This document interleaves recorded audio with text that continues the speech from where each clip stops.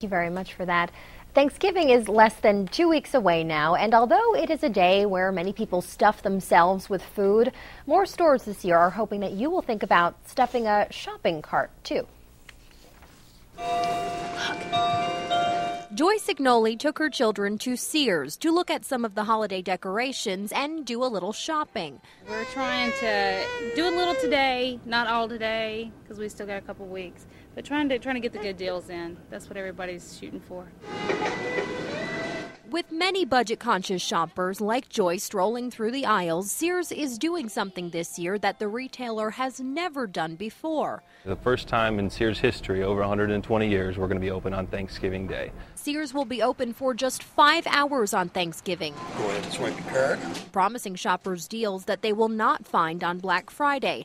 The extra day of business is a holiday gift for the retailer, too with the way that the economy's been the last few years, you know, we're just looking for any way to get, you know, a few extra sales.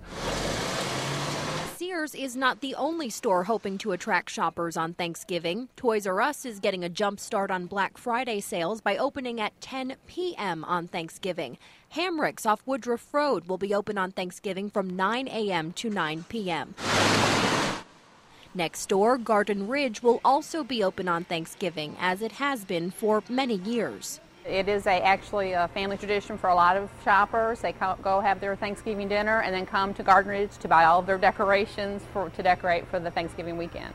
Garden Ridge also promises Thanksgiving Day bargains, hoping more people will turn their Turkey Day into a day of shopping.